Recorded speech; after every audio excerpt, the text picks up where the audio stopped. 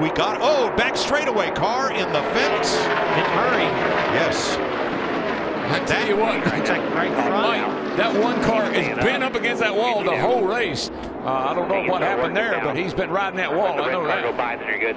Okay, you're fine. Hey, Lap 176. He was running 11th, I think, Mike, running pretty good. And Jamie McMurray brings out the first caution for contact in this race.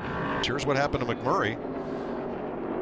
Oh, that- Oh, Yeah, I think that it just has right the looks front. of a right front tire being going down soft.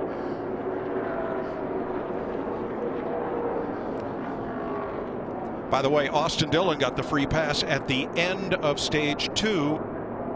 And you wonder why sometimes you battle that hard for those positions. That's why. You never know when the caution's going to come out.